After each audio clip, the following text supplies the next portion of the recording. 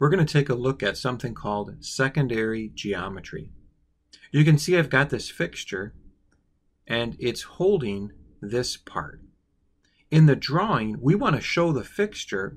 We also want to show the part, but we don't want the emphasis to be on the part. How do we do this?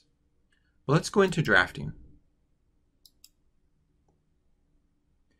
Once we're in drafting, we're actually going to set this part as what's referred to as secondary geometry.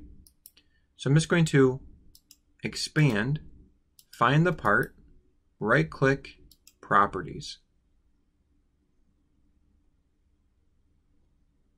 Go all the way to the right, drawings, and all we have to do is turn on secondary geometry. Now that's the trick. Sometimes people struggle when they're using secondary geometry, and the reason is they didn't set the part first. So do that first. Then we go to the view.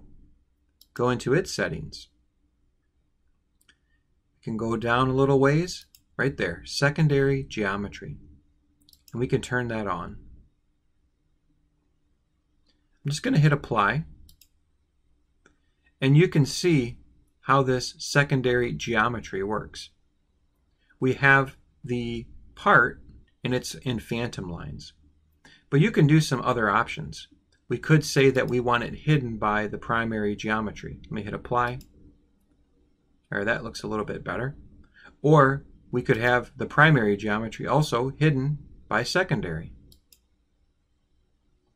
And there we can see what that looks like.